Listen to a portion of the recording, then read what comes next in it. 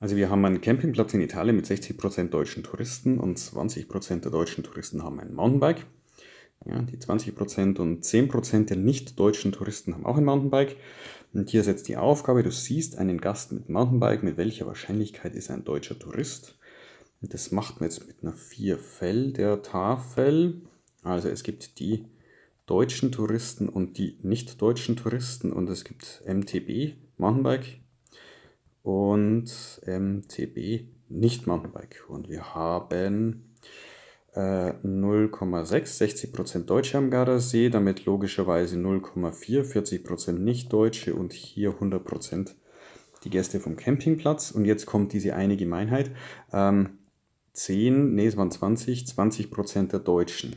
Also 20% von den 60% haben ein Mountainbike. Das ist was, was hier steht. 20 von 60.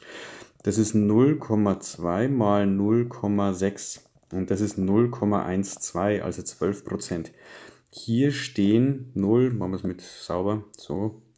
Hier stehen 0,12, die 12% der Deutschen mit Mountainbike. Hier ist das Mountainbike.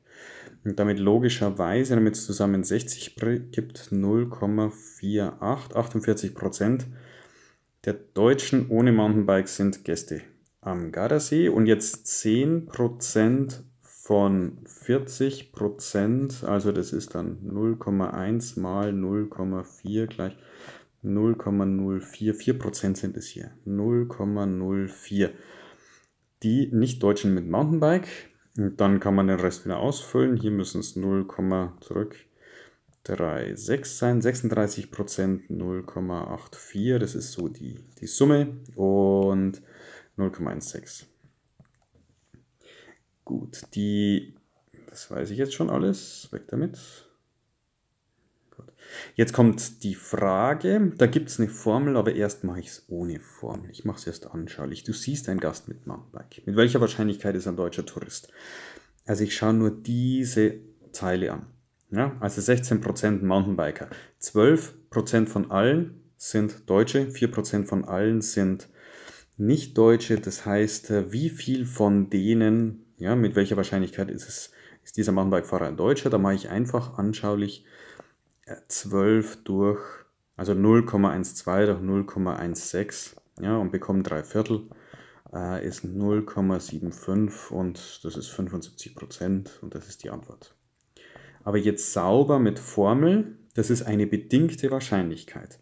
Also die Probability, die Wahrscheinlichkeit dafür, dass er Deutscher ist, unter der Voraussetzung MTB. Und wenn man das einsetzt, so, das dann kommt hier eine schöne Formel raus. Das ist P von Deutsch geschnitten MTB durch P von MTB.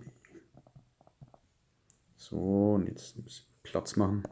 Das braucht man nicht mehr. So. Gut, und geschnitten, das ist hier. 0, schön schwarz. 0,12.